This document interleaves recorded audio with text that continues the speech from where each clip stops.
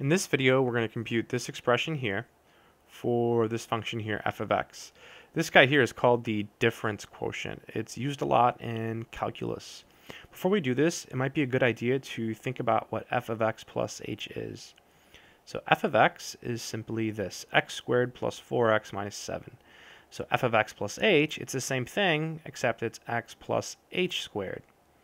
Right, you just replace the x with x plus h, and then plus 4 times x plus h, and then minus 7. All right, let's go ahead and work this out. So solution. We'll start by writing down our difference quotient. So f of x plus h minus f of x, and it's all being divided by little h. This is equal to, now f of x plus h, we already worked it out, it's over here. So it's going to be x plus h squared and then plus 4 times x plus h, and then minus 7. Right, it's right there. Then we still have the minus sign, so minus. And then f of x, well, that's over here. So this will be parentheses, really important to have the parentheses, x squared plus 4x minus 7 parentheses.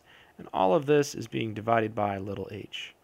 So this is equal to now, in order to multiply out this first piece here, there's a shortcut. So you just square the x, so x squared. You multiply the x and the h and you double them, so 2xh. And then you square the h, so plus h squared. Then distributing, 4 times x is 4x. And then 4 times h is simply 4h.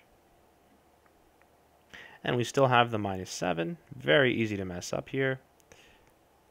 And then we have to distribute this minus sign. So minus x squared minus 4x. Minus x squared minus 4x.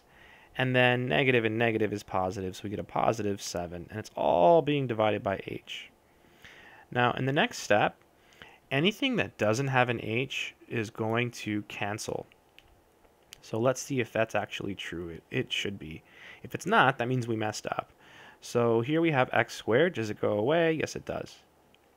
2xh, that hangs out. h squared, that has an h, so we don't have to worry about it. 4x, that should go away. Yes, it does. It's a good sign. 4h, we'll leave that alone. It has an h and negative 7 doesn't have an h, and it goes away. Success. So all of this is being divided by a little h. In the next step, we factor out the h, so we end up with 2x plus h plus 4.